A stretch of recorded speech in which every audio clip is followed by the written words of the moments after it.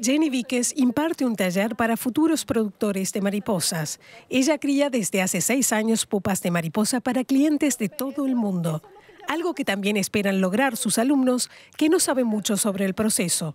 Por eso Jenny tiene que empezar por los conocimientos básicos. Esta es la mariposa calihuatrus, que es esta misma que tengo aquí. Primero es un huevito. De este huevito van a ser una larvita.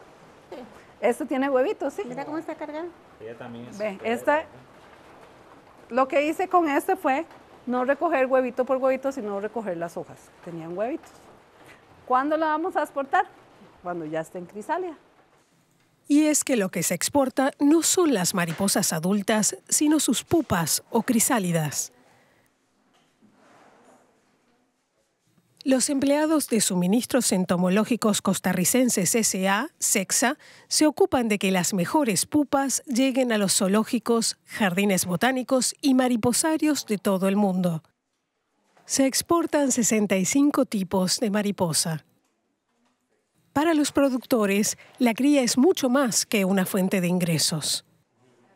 El impacto eh, socioeconómico de la actividad es algo muy relevante. Estas personas están ubicadas en zonas de, donde hay escaso empleo, eh, donde las oportunidades laborales son muy pocas e incluso las oportunidades que tienen son actividades agrícolas muy dañinas para el medio ambiente. Las hermanas Herrera Murillo llevan adelante uno de los 400 establecimientos productores de mariposas de todo el país. La enorme biodiversidad de Costa Rica permite la cría de cientos de especies diferentes. Las hermanas se especializaron en dos, la Greta Otto y la Caligo Memon. Disfrutan el hecho de ser sus propias jefas es que la escolaridad de nosotros es muy baja como para salir a trabajar y los trabajos a los que nosotros tendríamos que haber salido a trabajar pues eran bastante difíciles, no un trabajo bien remunerado. En cambio en esto nosotros si trabajamos duro sabemos que está bien remunerado. Las exportaciones, por valor de unos 3 millones de dólares, no son quizás comparables con los ingresos que reporta el país la venta al exterior de bananas, piñas o café, sin embargo, son disruptivos.